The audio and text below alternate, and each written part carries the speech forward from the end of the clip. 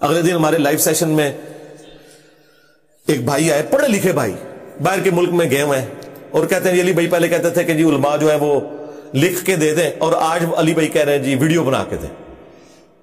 मैंने कहा, तुम हमारे मुखालफिन से सुन के हमारे ऊपर चढ़ दौड़े हो। मेरी किस वीडियो में यह है कि वीडियो ना बनाए और सिर्फ़ लिख के दें?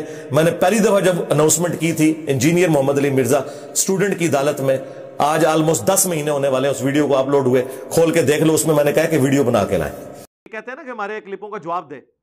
मैंने आपके, अभी ना आने वाले क्लिपों के भी जवाब दे दिए हुए हैं। आज भी तभी साफ़ की है ना मैंने? नासबियों की। तो मैंने तो जवाब पहले दे दिए मैं फिर भी किसी को शौक है ना तो मैं एक छोटी सी शर्त रख रहा हूँ आपके सामने, कि जिस बात का आप मुझसे जवाब लेना चाहते हैं ना, अपने फिरके के सबसे बड़े मुफ्ती से प्लेनेट अर्थ पे जो आपका मुफ्ती आज़म है एक छोटा सा क्लिप बनवा दें कि जी, मैं खुद तो नहीं आना चाहता, लेकिन मैंने ये बच्चा लॉन्च किया है।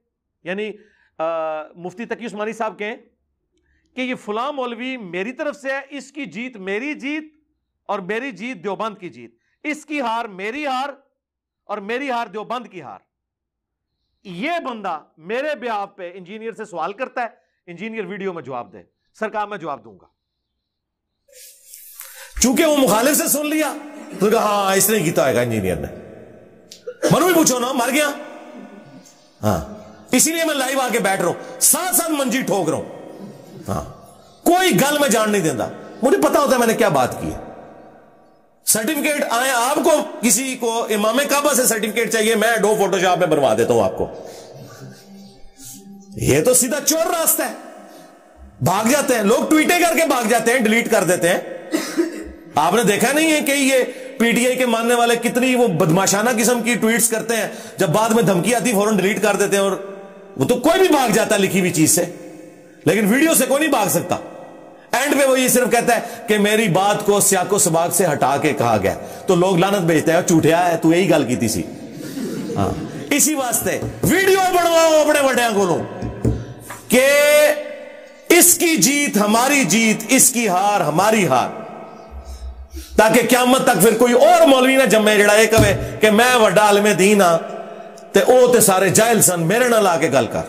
और ये भी आपकी डिमांड पे है। मुझे क्या हाजत है कि यार ये गली मोहल्ले के लोग जिनकी कोई इज़्ज़त नहीं है उनके साथ मैं बैठ के बात करूँ। मौलवियों की बेइज्जती के ऊपर तो इजमाय उम्मत हो चुका है ना? हाँ, हाँ बिल्कुल। हर फिरका दूसरे के मौलवियों के बारे में क्या कहता है? ओवरऑल इस कम्युनिटी के बारे में क्या समझता है? तो मुझे ज़रूरत है इनके साथ बैठने की।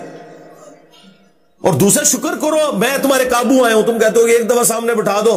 तो शुक्र करो, मैं काबू आया हूँ। मैंने तो आप लोगों के सामने ये बात कर दी हुई है कि वीडियो बनाओ, लेकिन ये जुमला बोले कि इसकी जीत हमारी जीत, इसकी हार हमारी हार। हाँ।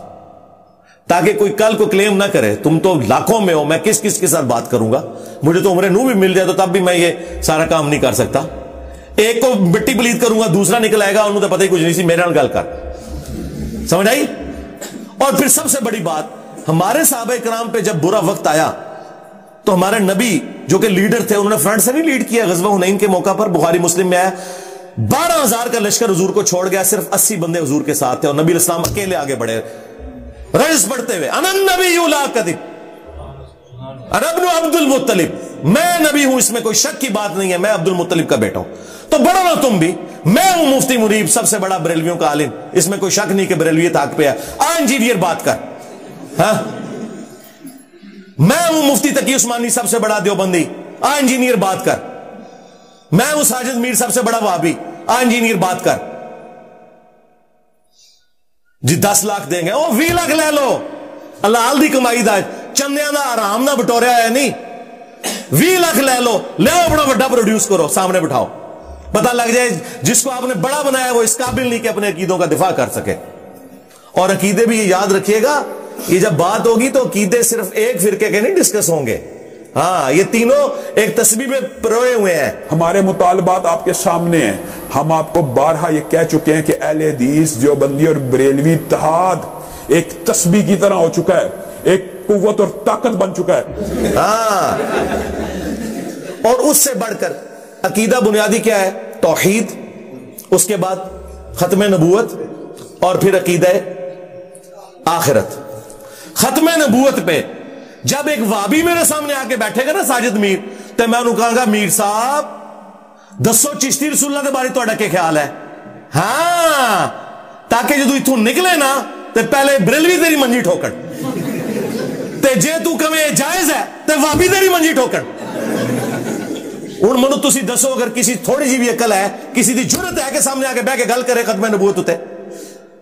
वाबी क्या समझते हैं? मैंने इनका मामू इनसे सिर्फ़ डिस्कस करना है। ना मामू का नंबर ही आखिरी है। हाँ वो आखिरी नंबर है। वो कहते हैं, हज़रत अबू बकर से लेकर हज़रत माविया तक। उन्होंने भी पता नहीं था आखिरी नंबर है। हाँ। वाशी तू भी थले लै गए आखिरी नंबर की गल आखिरी च होएगी। पहले गल होएगी खत्म नबूत उत्ते कि बोल अशली रसूला उत्ते जे बोलेगा तो मैं और क्या करना है? लुडियाँ नहीं पानी तो और क्या करना है? तो बरेलवी क्या समझते हैं कि उनसे मैं सिर्फ़ चिश्ती रसुल्ला में बात करूँगा अशरी रसुल्ला में भी बात करूँगा? हाँ। और मैं वाबियों की बातों के बारे में बात करूँगा, ताकि जी तस्बी है ना वड के, वैसे तो बाबा जी वड गए ने सूरा ने सूर कह के। आप कभी अकेले बैठ के सोचें इस तरह की सूरत हाल में किसी की ज़रूरत है कि सामने बैठ जाए? बस ये सिर्फ़ वीलॉग बनाने हैं और उस पर नंगी औरतों के इश्तेहार चला के तो पैसा कमा रहे हैं। ये सारे कमा रहे हैं। वो गले फाड़ने वाला भी कमा रहा है। बाकी वीडियो उसकी कोई नहीं देखता। मेरी तस्वीर लगा के तो ये पीछे मकसद इनका ये है। और ये मैं आपको बार बार इसलिए क्लियर कर रहा हूँ कि एक दफ़ा आप लोग धोखे में आ चुके हैं। हज़रत अली ने तहकीम के मसले पे आखिरी दर्जे में अपने फौजियों को समझाया था कि ये फ्रॉड कर रहे हैं, जो इन्होंने कुरान नेजों पे उठाए हुए हैं। ये मसला कुछ और है ये जंग हार चुके हुए हैं, लेकिन वो फौजी बात नहीं मान रहे थे, वो खारजी हो गए। और उसकी वजह से एक बिल्कुल जीती हुई जंग जो है, वो एन मौके पे आके खत्म हो गई। और वो तहकीम वाला मसला बीच में से निकला। मोमिन एक सुराग से दूसरी बार नहीं डसा जाता। हाँ। अली इब्न अबी तालिब के साथियों ने जो कुछ उनके साथ किया, या हो गया वो दोबारा नहीं हिस्ट्री रिपीट होगी। मैं साथ साथ आपको क्लियर कर रहा हूँ कि ज़ीरो टॉलरेंस है। हाँ। हम में शराफत तो हज़रत अली वाली है लेकिन चलाकी और होशियारी बनो मैया से भी ज़्यादा है। हाँ, इस में रखिएगा। लेकिन ये चलाकी सिर्फ़ अपने डिफेंस के लिए नुकसान नहीं पहुंचाएँगे वरना यकीन करें जिस तरह ये मेरे छोटे छोटे क्लिप काटते हैं ना मैं अगर इनके क्लिप काटू ना तो जितनी मेरी जहानत है ना इनकी लाइफ वनरेबल कर दो। लेकिन हमें अल्लाह का खौफ आता है। आज तक आपने देखा कि मैंने किसी का एक क्लिप या हमारे किसी स्टूडेंट ने कभी किसी का आउट ऑफ़ कॉन्टेक्स्ट क्लिप काट के तो उसे वनरेबल किया हो। कोई एक बता दो। ये है तरबियत। हाँ। तो तुम्हारे एक हज़ार साल के जो फिरके हैं ना, उन्होंने ये प्रोडक्शन दी है कि ये झूठा काम करते हैं, झूठे जमाल लगाते हैं और हमारे स्टूडेंट्स लाखों की तादाद में एक बंदा भी ऐसा नहीं जो ये हरकत करे। इसी से फैसला कर लो। कि कौन जो है वो अल्लाह और उसके रसूल की बात कर रहा है, अज्जा वसल्लम और कौन अपने बुज़ुर्ग बाबों को लेके चल रहा है। बिल्कुल सूरत हाल क्लियर है। तो इसलिए मैं वक्तन फुक्तन बताता रहता हूँ ताकि आपको ये सिचुएशन क्लियर हो। साथ साथ एक एक चीज़ क्लियर करूँगा, अल्लाह के फजल से। हमारे बारे में पूछना है, हमसे आके पूछो। किसी दूसरे को राइट नहीं कि मेरे बारे में कोई कमेंट्स करेगा, और वो फिर बाकी लोग उसके पीछे चल पड़ेंगे। मैं मैं जिंदू मुझसे आगे पूछो कि हाँ ये ऐसा है। देखें, वो टीएलपी वाले भाई आए इधर। उन्होंने वीडियो के स्टार्ट में मुझे कहा जेलमी जहनमी ये कौन सुन सकता है? इधर जितने बैठे थे, उन्होंने भी सुना। मैंने भी सुना। मैंने मुस्कुरा के एक एक बात का जवाब दिया। जब मुझे पता है कि हमारे पास कुरान सुन्नत के दलाइल हैं तो मैंने क्यों इस बात के ऊपर गुस्सा खा के उनको गाली गलोच वाला मामला करना है? लेकिन अगर वो ये काम करते हैं कि ये जेल में जहनमी कह के जो सवाल पूछ रहे हैं, सवाल करते ही जवाब मुझे देने ना देते और अगली बात मेरे ऊपर कर देते तो उन्हें भी मैंने ये करना था, भाई निकलो इधर से। तुम सीखने नहीं आए हो, शरारत करने आए हो, कुरान में इदा खौत अबहुल कालू सलामा। सवाल करो, उसके बाद तसली से जवाब सुनो। अल्लाह के फजल से मैं हर बात को उसकी बारीकी तक क्लियर कर देता हूँ, उसके बाद गुंजाइश नहीं रहती काउंटर क्वेश्चन की। लेकिन बीच में टेंपो ना तोड़ा जाए। हाँ इस तरह नहीं होता। अगर बात मुख्तसर करने से बात समझ आती होती ना तो कुरान एक सफे पे होता। ये इतनी मोटी किताब क्यों है? अल्लाह को भी बात समझाने के लिए इतनी मोटी किताब नाजिल करनी पड़ी है। उसकी वजह है कि वसवसे बहुत ज़्यादा है। एक बात क्लियर करो, दूसरी निकल आती है। इसलिए पूरा मुकदमा समझना होता है।